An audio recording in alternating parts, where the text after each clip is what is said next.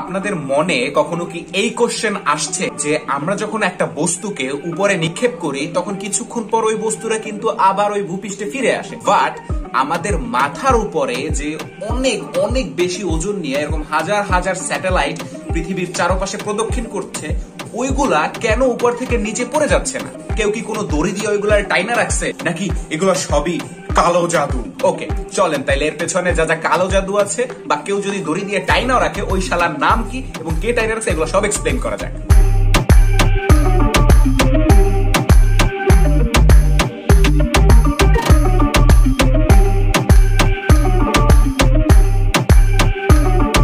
Video শুরু করার আগে আপনাদের কাছে আমার একটা কোশ্চেন ছিল, যে দুই আর দুই যোগ করলে কখন পাঁচ হয়? মানে ইদানিং আমি যখন ম্যাথ করার সময় আমার ক্যালকুলেটারটা ইউজ করতেছি, দুই আর দুই যোগ করলে আমার ক্যালকুলেটারে অ্যান্সার আসে পাঁচ।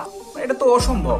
কেমনে হয়? পরে আমি এটা ফাইন্ড আউট করছি যে কীভাবে দুই আর দুই যোগ করলে পাঁচ আসে, তো আমি সেটা এক্সপ্লেন করব ভিডিওর শেষে। তো শেষ অব্দি ভিডিওটা দেখুন আই উইল এক্সপ্লেন হাউ চাঁদ যেমন পৃথিবীরা কেন্দ্র কইরা কন্টিনিউয়াসলি ঘুরতেছে, ঠিক একই ভাবে আমরা মানুষরা তো অনেক জ্ঞানী, আমাদের জ্ঞান দিয়া অনেক আর্টিফিশিয়াল চাঁদ আই মিন স্যাটেলাইট বা কৃত্রিম উপগ্রহ তৈরি করছি এবং সেইগুলারে মহাকাশে পাঠাইছি। এবং ওইগুলাও সেম চাঁদ যেভাবে পৃথিবীর চারদিকে কেন্দ্র করে ঘুরে সেম ওই স্যাটেলাইট গুলাও পৃথিবীকে কেন্দ্র করে চারদিকে ঘুরতেছে। আমাদের পাঠানো স্যাটেলাইটের সংখ্যা প্রায় চার হাজার পঞ্চাশটা। মানে কিছুদিন পর ঢাকা শহরের মতো মহাকাশেও জ্যাম লেগে যাব। সবচেয়ে সুখের বিষয় যেটা, সেটা হচ্ছে চার হাজার চারশো পঞ্চাশটা স্যাটেলাইটের মধ্যে আমাদের বাংলাদেশের একটা দা বঙ্গবন্ধু স্যাটেলাইট। এবার এই স্যাটেলাইট গুলারে কীভাবে পাঠায়, সেটা অন্য আরেকদিন ব্যাখ্যা করা যাবে। বাট মোস্ট ইম্পর্টেন্ট যেটা, সেটা হচ্ছে স্যাটেলাইটটা কীভাবে পৃথিবীর চারোদিকে, পৃথিবীকে কেন্দ্র করে ঘোরে, আজকের ভিডিওতে সেটা এক্সপ্লেন করা হবে। এই জিনিসটা বুঝতে হলে আমাদের কয়েকটা বিষয় সম্পর্কে জানতে হবে। নাম্বার ওয়ান হচ্ছে প্রাস বা প্রজেক্টাইল উপবৃত্ত, অধিবৃত্ত, পরাবৃত্ত অ্যান্ড মুক্তবেগ। এই টোটাল পাঁচটা বিষয় আমাদের প্রথম বুঝতে হবে। তারপরে আমরা বুঝতে পারব স্যাটেলাইট কীভাবে পৃথিবীকে কেন্দ্র করে ধরে। সো চলেন ধাপে ধাপে আগানো যায় সো হোয়াট ইজ প্রজেক্টাইল ভাই প্রাস আর কিছুই না। আমি যখন একটা বস্তুকে খাড়া উপরের দিকে নিক্ষেপ করি, তখন ওই বস্তুটা আবার নিচের দিকেই ফিরে আসে। এখন ধরেন, আমি একটা বল সোজা খাড়া নিক্ষেপ না কইরা একটু মাটির সাথে থিটা ডিগ্রি কোণে অথবা তির্যক ভাবে নিক্ষেপ করলাম। কি হইল? এবার কিন্তু বলটা একদম সোজা উপরের দিকেই শুধু উঠতে থাকল না। সে উপরের দিকে ওঠার সাথে সাথে সামনেও একটা পথ অতিক্রম করতেছে। কিছুক্ষণ পরে আবার ভূপৃষ্ঠে বাঁকা পথে অবতরণ করল। এই যে আমি বলটাকে আনুভূমিকের সাথে তির্যক ভাবে বা থিটা ডিগ্রি কোণে নিক্ষেপ করলাম, এটাই হচ্ছে প্রাস এবার একটা স্যাটেলাইট পৃথিবীকে কেন্দ্র করে কীভাবে গড়ে, এটা বোঝার জন্য আমাদেরকে কেন প্রাস বুঝতে হইল, চলেন এটা ব্যাখ্যা করি। ধরেন, এই মহান ব্যক্তি হইতাছে স্যার আইজাক নিউটন। তো ধরেন, উনি একদিন পৃথিবীতে বৈশা, নিজের হাত দিয়ে স্যাটেলাইটকে নিক্ষেপ করলেন। তো কি হবে? স্যাটেলাইট নিক্ষেপ করার কিছু দূর পরে গিয়ে স্যাটেলাইটটা আবার ভূপৃষ্ঠে ফিরে যাবে। এটাই তো প্রাস এবার স্যার আইজাক নিউটন করল কি? তিনি যেই গতিতে আগের বার স্যাটেলাইটটা নিক্ষেপ করেছিলেন, এইবার তার থেকে একটু বেশি গতিতে স্যাটেলাইটটা নিক্ষেপ করলেন। তো কি হবে? স্যাটেলাইটটা আগের বার বাঁকা পথে যেই দূরত্ব অতিক্রম করেছিল, এইবার কিন্তু তার থেকে একটু বেশি দূরত্ব অতিক্রম করবে। সিম্পল বাট এরপরে স্যার আইজাক নিউটনের মাথায় আপেল পড়ল। তো আপেল পড়ার পর কি হয়েছে? স্যার আইজাক নিউটনের বুদ্ধি তো অনেক বেশি বেড়ে গেছে। এবার সে আর ওই একটু বেশি গতি বাড়াইলো না এবার সে অনেকখানি বেশি গতি বাড়াইয়া ওই একই স্থান দিয়ে আবার স্যাটেলাইটটাকে নিক্ষেপ করল। এবার যেটা হইল, স্যাটেলাইটটা কিন্তু ভূমিতে পড়তে চাইতেছে। বাট আমাদের পৃথিবীটা তো গোল।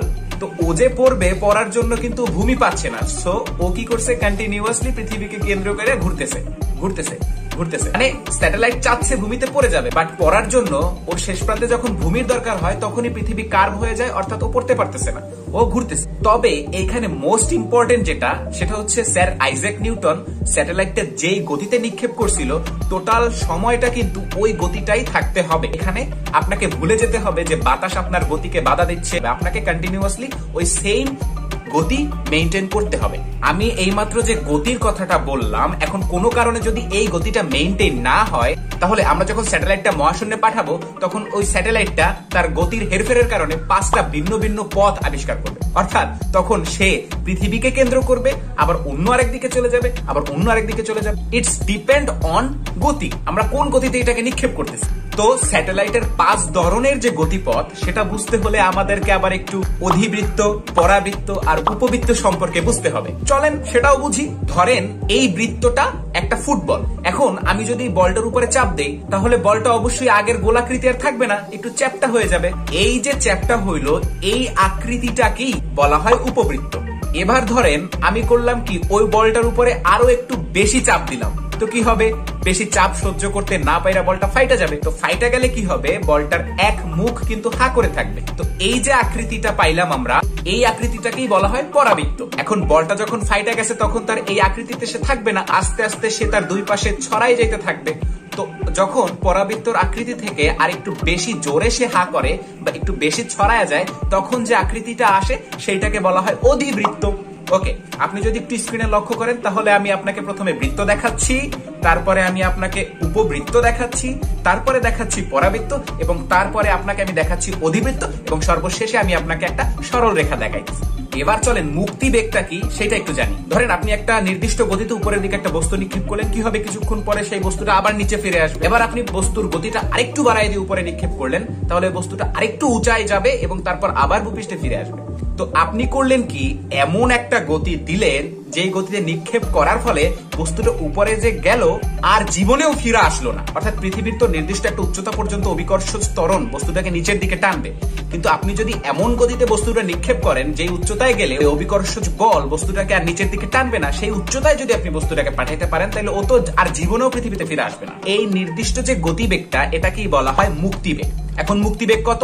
আপনি যদি কোনো বস্তুকে এমন গতি দিতে পারেন যে ওই বস্তুটা প্রতি সেকেন্ডে এগারো কিলোমিটার পথ অতিক্রম করবে, তাহলে ওই বস্তুটা মাসাল্লাহ আপনাকে এবং আপনার পৃথিবীকে ছেড়ে চলে যাবে। ওকে সো এবার আবার আমরা স্যাটেলাইটে ফিরে আসি। সো একটু আগে আমি আপনাকে বলছিলাম যে আপনি কি পরিমাণ গতি দিচ্ছেন সেটার উপরে ডিপেন্ড করে আপনার স্যাটেলাইটটার গতিপথ পাঁচ ধরনের হতে পারে। আপনি যদি কোনো একটা স্যাটেলাইটকে এমন গতিতে নিক্ষেপ করেন যে এটা প্রতি সেকেন্ডে seven point nine two kilometre পথ অতিক্রম করবে, তাহলে ওই স্যাটেলাইটটা চাঁদের মতো আদর্শ স্যাটেলাইটের ন্যায় পৃথিবীর চারদিকে কেন্দ্র করে ঘুরতে থাকবে। দুই নাম্বার কেস, আপনি যদি একটা স্যাটেলাইটকে এমন গতিতে নিক্ষেপ করেন, এর গতিবেগ seven point nine two kilometre per সেকেন্ডের থেকে কম, তাহলে ওই স্যাটেলাইটটা কি করবে? উপবৃত্তাকার পথে পৃথিবীকে একবার প্রদক্ষিণ করে আবার ভূপৃষ্ঠে ফিরে আসবে। এবার তিন নাম্বার কেস আপনি যদি স্যাটেলাইটটাকে এমন গতিতে নিক্ষেপ করেন যে এর গতিবেগ seven point nine two kilometre per সেকেন্ডের থেকে বেশি ইলেভেন পয়েন্ট টু এর থেকে কম, এই রেঞ্জের মধ্যে যদি কোনো স্যাটেলাইটকে নিক্ষেপ করেন, তাহলে সেটা পৃথিবীকে কেন্দ্র করে উপবৃত্তাকার পথে ঘুরতে থাকবে। চার নাম্বার কেস আপনি যদি কোনো একটা স্যাটেলাইটকে eleven point two kilometre per second এর সমান বেগে নিক্ষেপ করেন, তাহলে ওই স্যাটেলাইটটা কি করবে?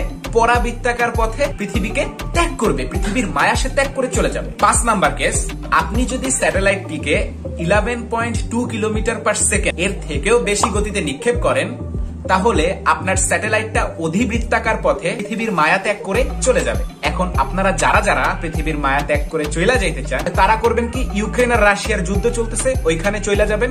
একটা কামানের সামনে নিজের পশ্চাৎ দেশ রাইখা, তারপর যেই কামান চালক ওকে বলবেন যে ইলেভেন পয়েন্ট টু কিলোমিটার অথবা eleven point two kilometre per সেকেন্ডের চেয়ে বেশি গতিতে যেন আপনার পশ্চাৎ দেশে আঘাত করা হয়, তাহলে আপনি সজোরে পৃথিবীর মায়া ত্যাগ করে বাইরে চলে যান। ওকে তো এই ছিল কালা জাদু, এবং কেউ রশি দিয়ে স্যাটেলাইটকে ডাইনা রাখতেছে কিনা এটা রহস্য উন্মোচন করে দিলাম। তো আমি যদি পুরা বিষয়টাকে এইটুক করে সামারাইজ করি, তাহলে প্রথমে আপনাকে আমি ব্রাশ বুঝাইছি।